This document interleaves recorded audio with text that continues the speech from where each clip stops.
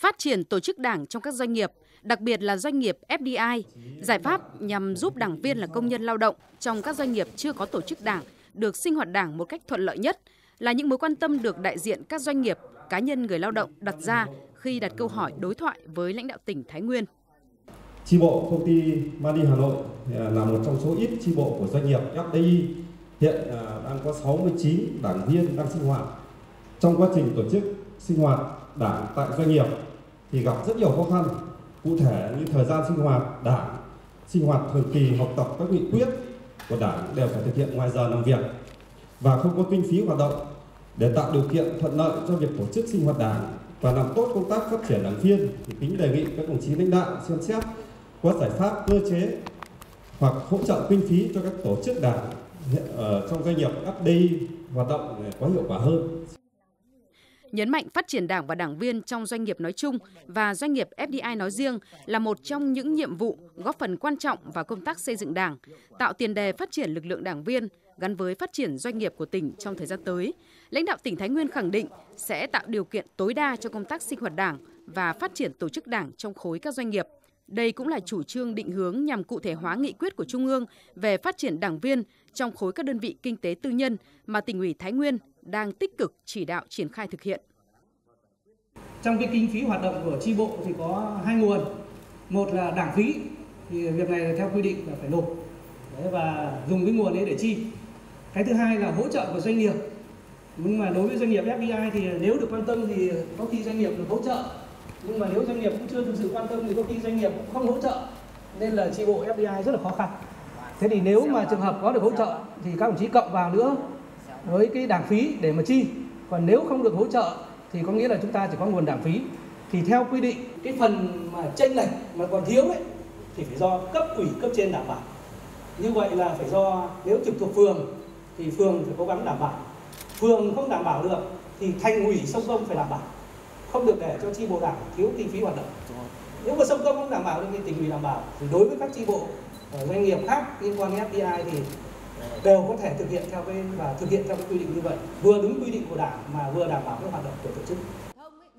bày tỏ vui mừng phấn khởi đối với sự quan tâm chỉ đạo của lãnh đạo tỉnh trong việc tạo môi trường thuận lợi, thu hút nhà đầu tư vào tỉnh, qua đó giải quyết được nhiều việc làm cho người lao động. Ý kiến của đại diện người lao động cũng mong muốn các đồng chí lãnh đạo tỉnh đưa ra những giải pháp cụ thể để thu hút lực lượng lao động đến làm việc tại các khu công nghiệp trên địa bàn.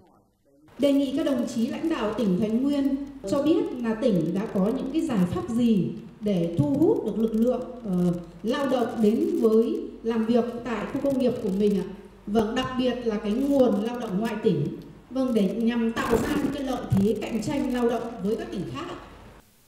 Giải đáp vấn đề này, đồng chí Chủ tịch UBND tỉnh nêu một số giải pháp về tiếp tục nâng cao năng lực Trung tâm Dịch vụ Việc làm tỉnh Thái Nguyên trong việc tổ chức thu thập thông tin về việc làm, triển khai tốt các chính sách an sinh xã hội, cải thiện cơ chế thu hút người lao động.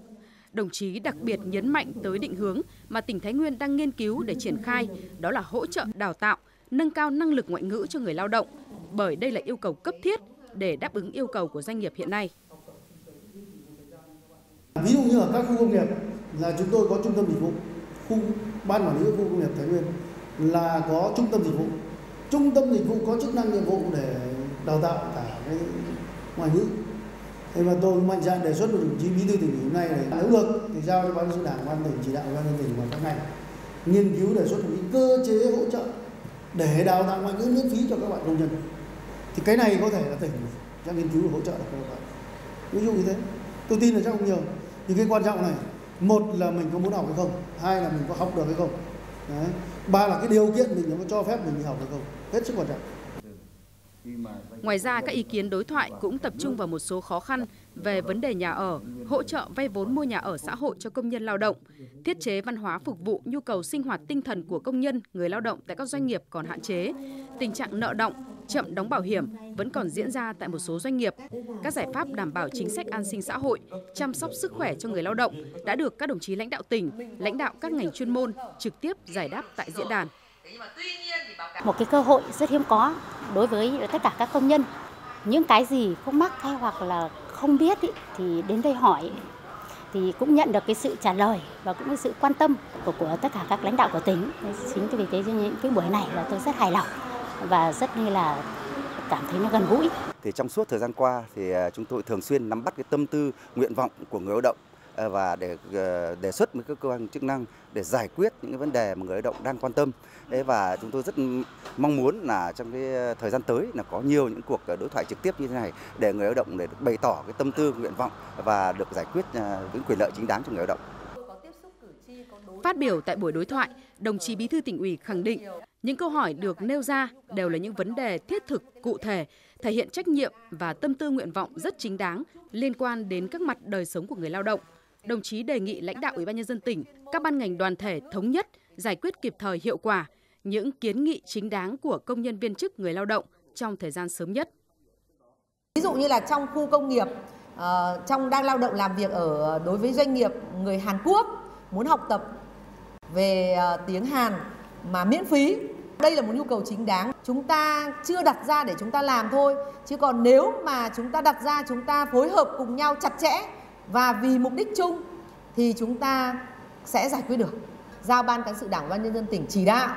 các cơ quan đơn vị để nắm bắt được cái nguyện vọng, nhu cầu để ờ, làm sao tổ chức trong năm 2023 này thí điểm một vài lớp để xem nhu cầu như thế nào thì đề nghị các đồng chí quan tâm.